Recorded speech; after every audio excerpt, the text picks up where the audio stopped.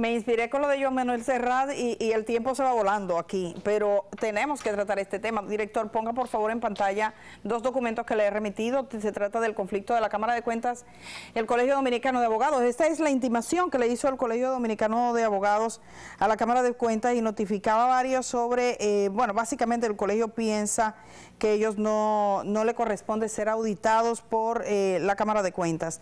Entonces está este otro documento que vamos a mostrar ahora, que es eh, de la Contraloría General de la República, 21 de noviembre de 2021, del Contralor General Catalino Correa Isiano, que dice lo siguiente, y me voy a resumen de la carta al final, que dice, en cuanto a la selección de las firmas auditoras privadas, fiscalización y acompañamiento para participar en la licitación para contratar la firma que realizará las auditorías contables, esta Contraloría General de la República, después de haber examinado las normativas anteriormente mencionadas, es de criterio que es competencia de la Cámara de Cuentas de la República Dominicana dar cumplimiento al control externo practicando las auditorías que correspondan de conformidad con lo establecido y lee el artículo 74, ley, eh, ley perdón, 319 que crea el Colegio de Abogados de la República Dominicana y demás leyes que rigen la materia. Mañana vamos a hablar con alguien a ver que nos expliquen esto, pero básicamente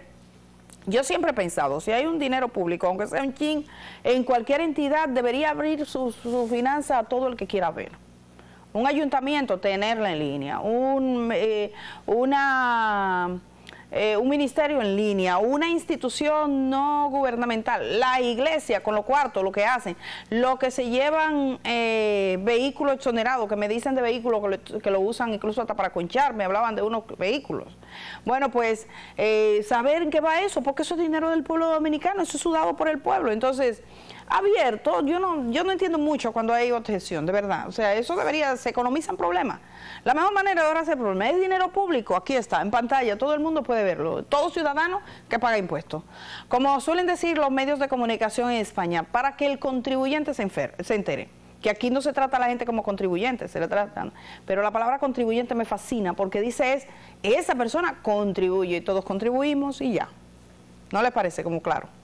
Pero bueno, a veces hay cosas como que uno no la entiende, no sé. Pero básicamente yo creo que se le enreda la, cosa un poquito. Si, la, si es la opinión de la Contraloría, los órganos de, control eh, algo tendrán que hacer al respecto. Aquí tenemos estas canciones. Alguien lo mandaba que de Joan Manuel Serrat para despedirme con esta letra, se llama Vencidos. Por la manchega llanura se vuelve a ver la figura de Don Quijote pasar y ahora ociosa y abollada vas en el rucio la armadura y va ocioso el caballero sin peto y sin espaldas. Me voy a la, de, a la del coro, que eso es precioso, búsquenla, esa canción dice, cuántas veces Don Quijote por esa misma llanura, en horas de desaliento, así te miro pasar, y cuántas veces te grito, hazme un sitio en tu montura y llévame a tu lugar, hazme un sitio en tu montura, caballero derrotado, hazme un sitio en tu montura, que yo también soy cargado de amargura y no puedo batallar, ponme a la grupa contigo, caballero del honor, ponme a la grupa contigo y llévame a hacer ver contigo contigo, pastor.